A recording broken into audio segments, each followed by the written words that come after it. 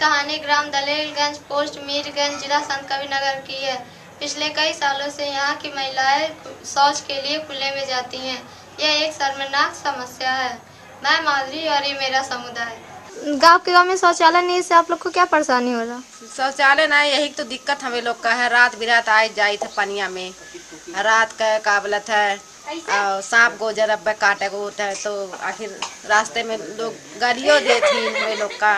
कि यहाँ पे गंदगी हो रही है तो जब कहीं शौचालय की जगह नहीं है तो कहाँ जाए हमारे सब? आपके गाँव में किस चीज़ की समस्या है? और लाइटरी उटरी की है, है जैसे है कि दिक्कत हो रहा है जौन बतावन कोई मतलब जाने के खेते बाड़ी में और सब मिनहा करल गरिया वाला कि हमरे खेते बाड़ी में न जा। रास्ते में करे तो सब बुराई है और जो मतलब रास्ते वाले जाने वाले गरिया वाला की है नरक है है है वो हमें पैखाना चाहिए बाथरूम चाहिए शौचालय चाहिए घरे दुआरे के। ये कुछ परेशानी है और का है? आप लोग के यहाँ क्या समस्या है? यहाँ शौचालय का समस्या ज़्यादा है। शौच के लिए आप लोग कहाँ जाते हैं? खेत में।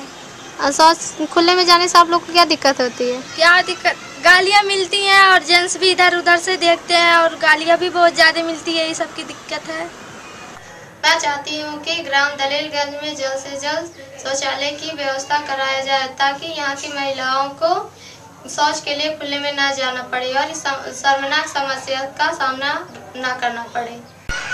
इस वीडियो को देखने वाले सभी श्रोताओं से मेरी ये अपील है कि यहाँ के विकास खंड अधिकारी का number nine four five one four seven two five double six है।